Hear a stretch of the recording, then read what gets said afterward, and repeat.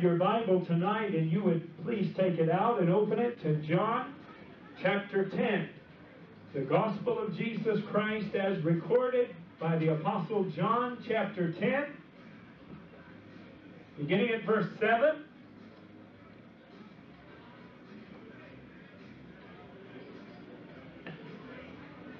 Amen. John chapter 10, beginning at verse 7. And I would ask everyone if we would stand tonight in honor of the reading of God's Word. And the Word of the Lord reads in this fashion John chapter 10, beginning at verse 7. Then said Jesus unto them again, Verily, verily, I say unto you, I am the door of the sheep. All that ever came before me are thieves and robbers, but the sheep did not hear them. All that ever, uh, I am the door. By me, if any man enter in, he shall be saved, and shall go in and out, and find pasture. The thief cometh not, but for to steal, and to kill, and to destroy.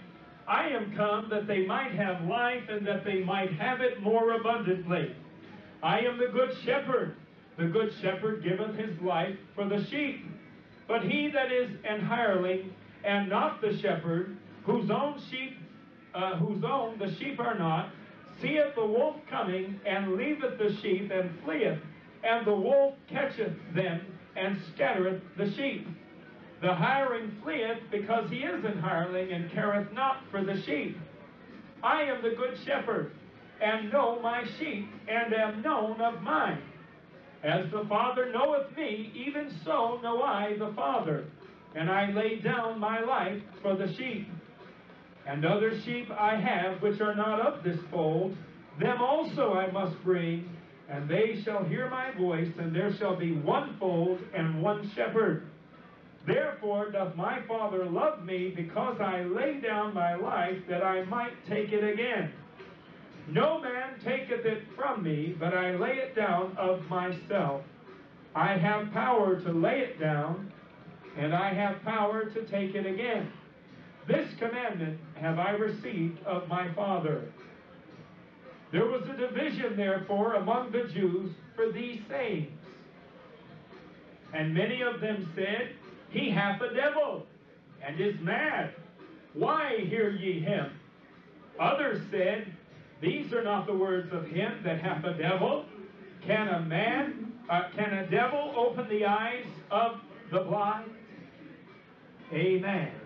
It may seem like a little bit unusual a text this morning, but I will tell you why I read that entire portion.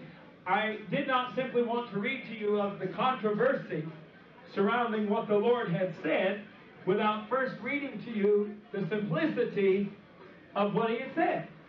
Really wasn't that complex uh, a dissertation he was giving on the shepherd and the sheep and so on and so forth. And yet, when he was done with that beautiful message the shepherd and the sheep, there were still those who said, oh, this man has the devil. This guy's crazy. He's mad out of his mind. Amen. Would you bow your heads with me this evening as I endeavor to bring forth a message God's laid upon my heart? Master, once again, in the wonderful, lovely name of Jesus, that name that is above every name that is mentioned in heaven and in earth, Tonight, oh God, we come before you a people that needs more than world, even more than the next breath. We need to hear from you. And Lord, we have come into this place tonight with a desire to hear from heaven, to be fed that manna which is provided by you and you alone. And Lord, as we endeavor to break forth the bread of life, we ask you, O oh God, to anoint the lips of the speaker. God, allow me to speak plainly and freely that which you have delivered to my spirit, that you would desire that these people in this place and those that might watch or hear this message, Lord, that you would desire they receive. Anoint every word. Allow me, O God, to speak in boldness and yet with love. For, Master, we need so desperately for the Word of God to bring forth fruit unto righteousness in our lives, that we might glorify you in our daily living, a testimony of your grace and your love and your mercy. For we ask this all in the wonderful name of Jesus. Amen. And the church said, Amen. Amen. Praise the Lord. You may be seated. Every single great defense attorney that's ever walked the face of planet Earth knows, at least in America, there's a very valuable technique available to them. There's a very valuable tactic available to them when the facts cannot be altered and when the facts cannot be disputed in and of themselves. Then there's another logical step that they know to go in a trial in order to get their client off the hook. And that next logical step is to discredit the witness. You see, if I can make the witness look like a boob, then anything he says suddenly has no value. Now, that witness may be telling the absolute truth. That witness may be saying exactly what they saw, exactly what they heard,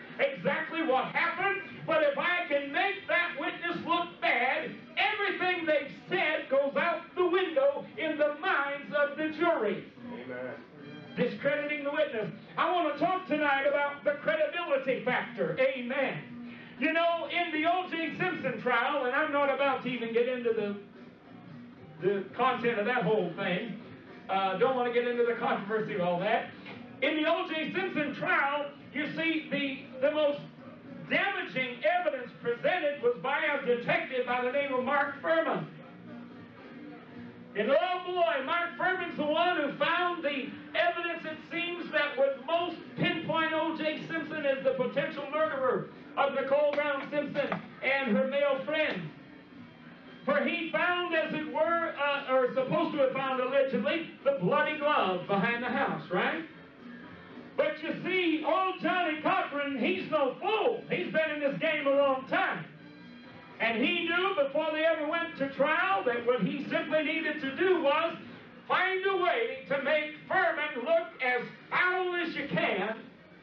And that way, anything he says goes right out the window the jury won't want to hear it. They're not, they're not going to want to know about it.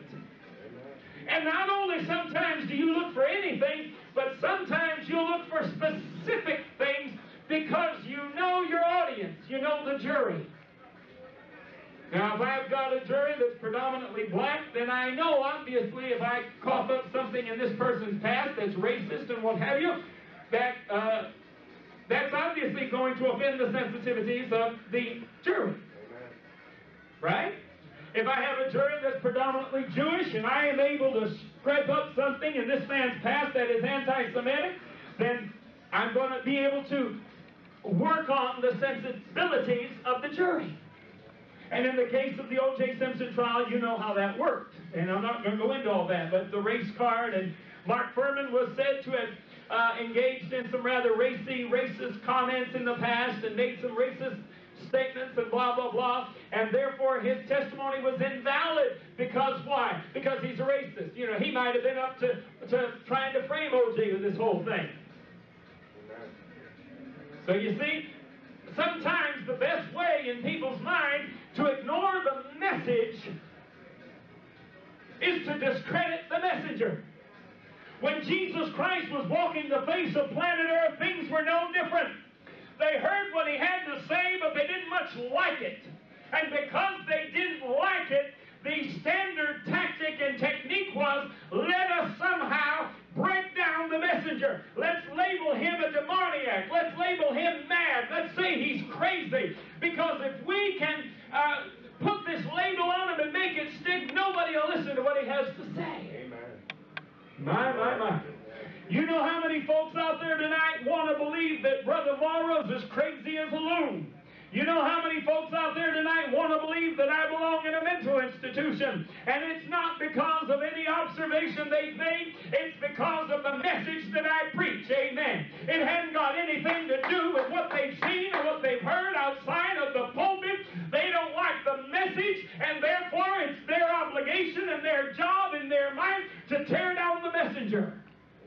Amen. People who think they want to be in ministry, I say, honey, you better think twice. Because there is nobody in this world, there is nobody in the church that stands on the front lines and puts themselves in right at, you know, the center of the devil's bullseye more than the preacher. Because he's the bearer of the message. And the bearer of the message is the one that's going to be torn down. Because if I can discredit the messenger, I have discredited the message. You hear what I'm saying tonight? Amen. It's all about credibility. You see, in Matthew chapter 13, beginning at verse 53, I want to read something to you on this subject matter. Matthew 13, beginning at verse 53. The Word of God said, And it came to pass that when Jesus had finished these parables, he departed thence. And when he was come into his own country, he taught them in their synagogue, insomuch that they were astonished and said, Whence hath this man this wisdom and these mighty works? Is not this the carpenter's son? Is not his mother called Mary? And his brethren, my Roman Catholic friend, and his brethren, that means his brothers, James and Joseph and Simon and Judas and his sisters. Are they not all with us? Whence then hath this man all these things? And they were offended in him. But Jesus said unto them, A prophet is not without honor, save in his own country and in his own house. And he did not many mighty works there because of their unbelief. You see, when Jesus was outside of his home turf, people just said, oh, he's crazy. This man's mad. This man's a demoniac. But when he was on his home turf, when he was amongst his brethren and his own people and his own, you know, the old neighborhood, as they say, all of a sudden the discrediting tactic still was employed, but now it's approached slightly different. Well, wait a minute. We know his mother, we know his brothers, we know his sisters, we know his family. This ain't anybody special. Where does he get all this wisdom from? Where does he get all this knowledge from? You know what cracks me up about so many in the high churches? They put so much emphasis and so much importance on going to seminary and learning about God and learning about the Bible through a seminary. And I've said a thousand times, honey, you can pick whatever seminary you want to go, and they're each going to teach you what they want you to be taught. Amen. Amen. You don't learn the Word of God in seminary. You don't learn the truth in seminary. I don't care if it's a UPC seminary. I don't care if it's a PAW seminary. You do not learn the truth by going somewhere where people have it nicely packaged and tightly wrapped and taped on every corner with a nice big bow on it. Honey, that is not how truth is attained. Truth is attained when you take off your gloves and you get in the dirt and you dig it up for yourself Amen. and you allow the Holy Ghost from heaven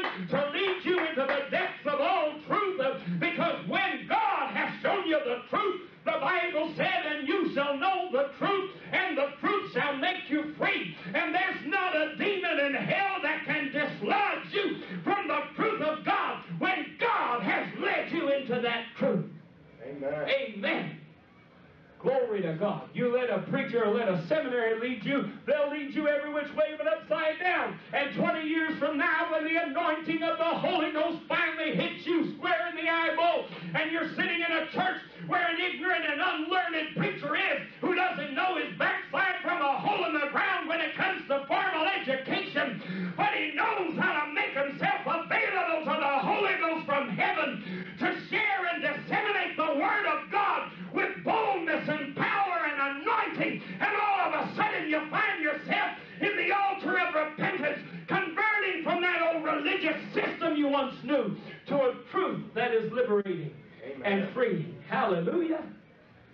seen it happen enough. I know it goes on.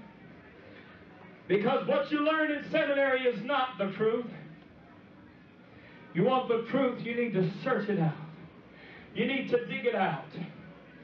So many people in our communities tonight are away from God and away from the church because they've allowed somebody to come along and tell them that God hates the homosexual. God hates those who do not behave in a manner that He deems to be appropriate and He deems to be holy and He deems to be proper and uh, sinless and perfect and they have allowed preachers to tell them things, and they have stepped away from God's fellowship because of what they've been told. And sadly enough, if they would have invested just a day, just a few hours in the Word of God for themselves and looked at some my these scriptures Man. and looked at some of this theology for themselves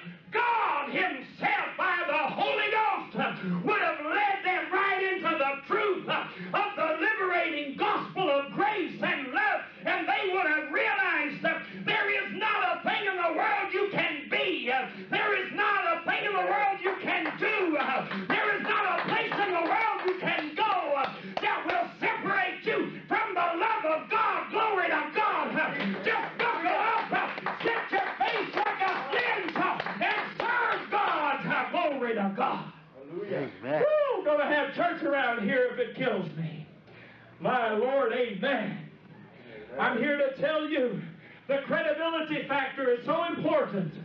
And in this world, it's so easy for people to feel comfortable attacking a man's credibility. You look at the average presidential campaign, and it is fraught with all kinds of accusation. It is fraught with all kinds of exposés. Why, George W. Bush did cocaine when he was in college. I don't care if he did it yesterday, as long as he doesn't do it once he gets in the White House. Amen. But you see, there's, there's, if they don't like your message, do they tear the message apart? No. Sometimes they can't. Why? Because the message is true. Amen. If I wanted to get into politics, which I don't, I could go into some of the issues in our present day political campaigns, everything from abortion, the death penalty, uh, welfare reform, campaign finance reform. You're going to tell me that some of what these candidates aren't saying on some of these issues isn't true? Certainly it is. But when the opponent doesn't like what they're saying on that issue, they don't attack what they're saying, they attack them. All of a sudden, it's easier just to make the opponent look like a dingaling, make him look incompetent. Right? My Lord. But I'll tell you, ministry is a tough place to be. You're a person.